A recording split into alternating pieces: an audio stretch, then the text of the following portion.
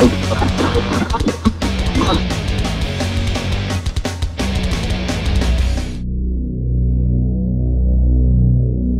мы как бы, в общем-то, пришли не к панк-року, а, можно сказать, кроссоверу. Просто в 80-е годы мы там металл слушали, вот, советский и западный тоже. А потом в 89-м, когда 90-е начинались, все-таки там появлялись новые стили, направления и больше кроссовер, смесь панка с металлом. Ну, потому что это направление было более прогрессивное, чем металл и панк по отдельности. Больше желания было, чтобы слушать тяжелую музыку с какими-то социальными текстами на русском языке. Первый альбом «Все государства концлагеря» мы записали такой, более-менее цельный. До этого Ленин Самотык была группа, потом Пурген с 90-го года. Да много всяких приколов-то было. В группе все-таки уже играл, там, я не знаю, человек, наверное, может быть, 35. В то время реально, можно так сказать, перед нами стоял вот выбор. Либо идти в милицию, либо в бандиты, либо в панки. Мы, конечно, выбрали в панке. Допустим, я 17 лет прожил в Советском Союзе. Вот, и э, в Советском Союзе было одно настроение, одна атмосфера. Вот, я учился на художника. И, в общем-то, планировал стать художником. Но в конце 80-х, в 88-м, э, с этой дурацкой перестройкой, которая закончилась трагически для нашей страны, вот, э, стало понятно, что пришел к власти Горбачев, который ломает все, все рушится, бедность началась, просто адские времена. А, Мы это поняли, и, в общем-то, у меня половина одноклассников стали бандитами, другая половина милиционерами. Мы поняли, что этот как бы ад продлится еще лет 10-20. Ну и для себя решили, чтобы не возиться в этом говне, а лучше заниматься музыкой. Вот. Тогда нам было 16, там, 17, 18 лет. И музыка нам нравилась как раз панк-трэш, кроссовер, хардкор. Вот. Мы сделали такую группу. Конечно же, с высмеиванием Горбачева. Потом пришел еще один идиот Ельцин, который все решил доломать. Его стебали. При жизни выпустили альбом «Мертвый президент». Ну, панк-рок, в общем-то, он а, такое протестное направление. Вот. Скажем так, э, сколько раз я замечал, что ну, у многих панков позиция, что я буду против, там, на зло всем. В общем-то, если большая часть, например, э, народа э, какую-то правую сторону бе- берет, панки могут взять левую сторону, как в противовес. Вот. Если там, допустим, большая часть возьмет в левую сторону, панки могут на зло как-то повести себя так, спровоцировать, чтобы больше в какую-то там не левую сторону. Вот. Но само по себе панк направление, если говорить там, допустим, о панк направлении классическом, то это, конечно, антифашистское направление, левое, против режима, за свободу. А фашизм это э, антисвобода, тоталитарный режим. В общем-то, гитлеровский режим, если так говорить, крайней правые стороны, то все мы видим, чем он закончился. Смертью людей. Панки это как антибиотики. Это если что-то болеет в обществе, то панки начинают это дело как-то высмеивать, показывать такие жесткие меры по излечению каких-то зависимостей общества. За деньги, за власть.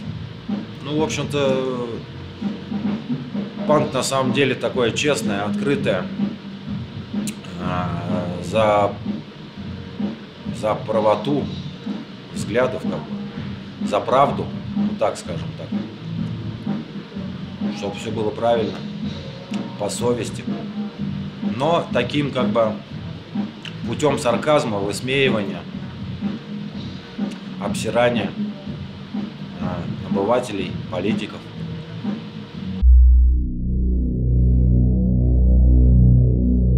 Да 90-е годы это полное говно.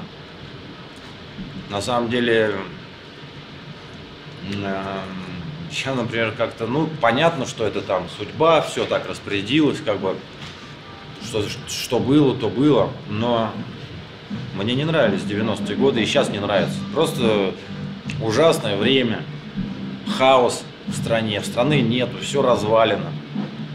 Бандиты какие-то, чернуха, убийства, грабежи, ну, минусов было гораздо больше, чем плюсов. Единственные были плюсы, что после развала, ну и то это минус, после развала всех предприятий хороших, ну, после всего, развала всего, вот на этом развале, можно сказать, люди просто, ты мог, мог, мог начать все, что хочешь, а, любой бизнес, любое дело, и у тебя нет конкурентов, ты как бы все были первые.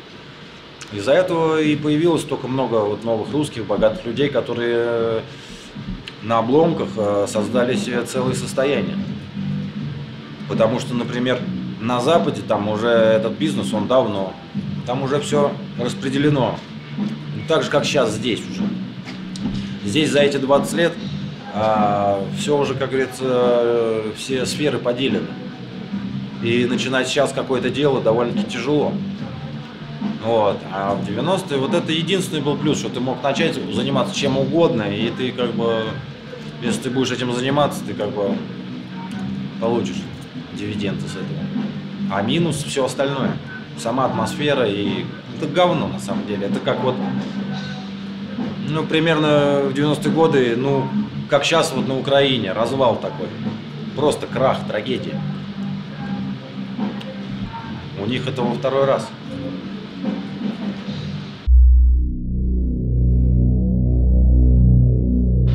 Сейчас началась, видишь, а, полномасштабная, можно так сказать, мировая, третья мировая война, которую все хотят развязать американцам, англичане. Ужас. Война на Украине. Везде. Развязывание войн, конфликтов. Ну, жуткие времена. Получается так, что э, в связи с информационной войной, в общем-то, поколение панков с 82 по 88 год э, хорошие, конечно, ребята, но с измененной психикой. Вот так же, как на Украине там всех э, заморочили англосаксы с тем, что там фашизм, там все там, это, а, там правая идея, ультраправое государство такое попытка сделать, люди верят там. А здесь также морочили на другую тему, они же. Потому что многие СМИ как бы были куплены сразу. Здесь как бы такое, что американский образ жизни, пьянство, курение, вот, а, деньги. Вот это поколение с 82 по 88 с детства им показывали американские мультфильмы, вот. Эти фильмы все американские. Если до 88-го там были более советские как бы, ну, люди с определенным взглядом, с там, совестью, культурой такой, скажем так, то с 82 по 88 э, жестко проамериканское поколение тех же панков. Но вот после 88-го как-то люди очнулись, и вот уже следующее поколение, тем которым сейчас там по 16 лет, по 20, они немножко как-то по-другому немножко смотрят, уже ближе вот как раз к советским взглядам таким.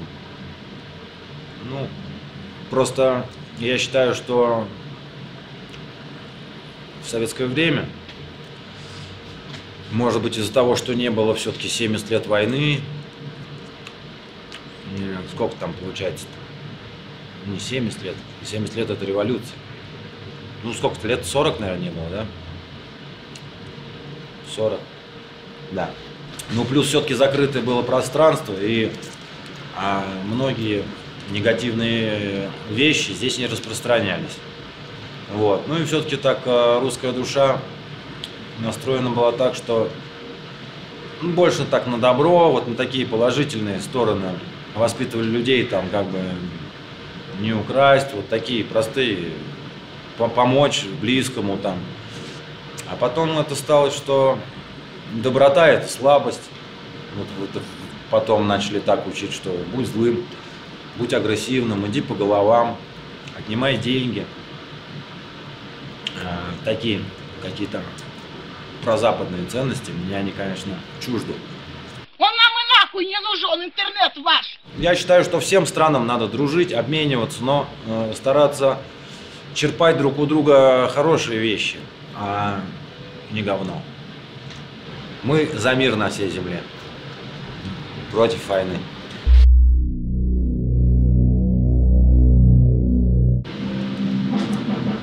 Панк-рок с семейной бытовой жизнью, в общем-то, он э, плохо совмещается.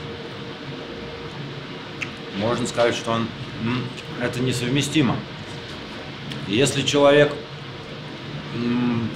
себя полностью отдает там тусовке, музыке, панку, я думаю, в основном эти люди одинокие. Либо у них есть такие же подружки, просто панкерши.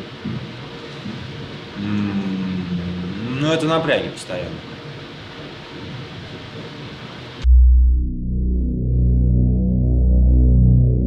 Наркотики это говно полное. С разрушением организма и смерть.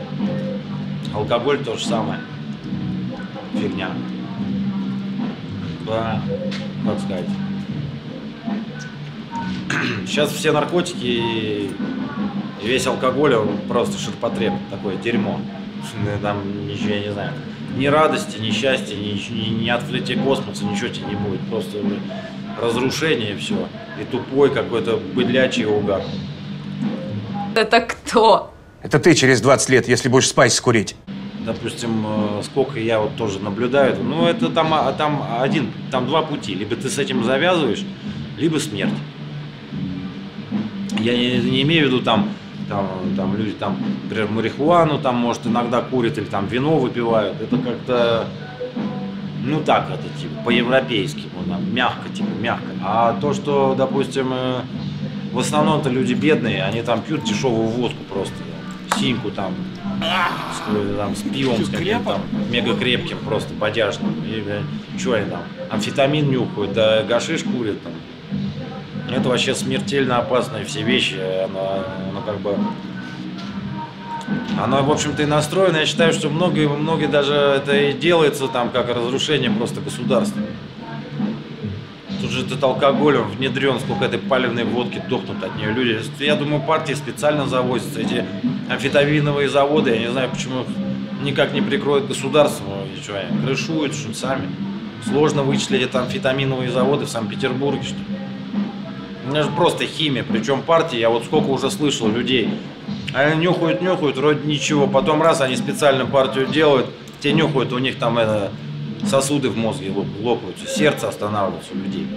Просто на убийство сделано так. Водка так же, так, так же самое.